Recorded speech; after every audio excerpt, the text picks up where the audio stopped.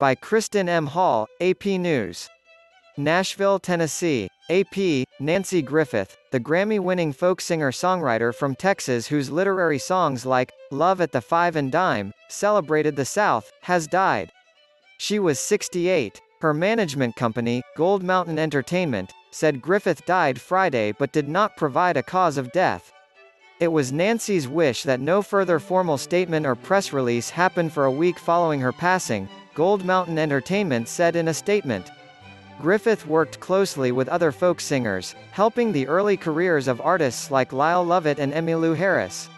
She had a high-pitched voice, and her singing was effortlessly smooth with a twangy Texas accent as she sang about Dust Bowl farmers and empty Woolworth general stores.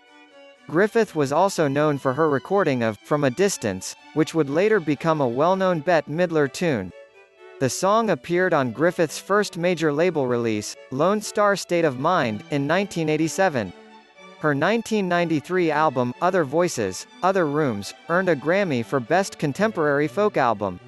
Named after a Truman Capote novel, the album features Griffith singing with Harris, John Prine, Arlo Guthrie and Guy Clark on classic folk songs. In 2008, Griffith won the Lifetime Achievement Trailblazer Award from the Americana Music Association.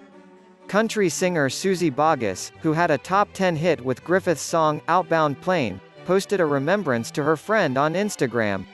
I feel blessed to have many memories of our times together along with most everything she ever recorded.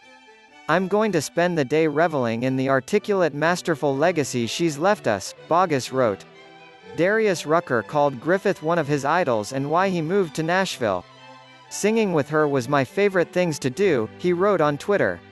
Keeping in line with the tradition of folk music, Griffith often wrote social commentary into her songs, such as the anti-racist ode, It's a Hard Life Wherever You Go, and the economic impact on rural farmers in the 1980s on Trouble in the Fields. I wrote it because my family were farmers in West Texas during the Great Depression, Griffith told the Los Angeles Times in a 1990 interview. It was written basically as a show of support for my generation of farmers. Griffith gained many fans in Ireland and Northern Ireland, where she would often tour.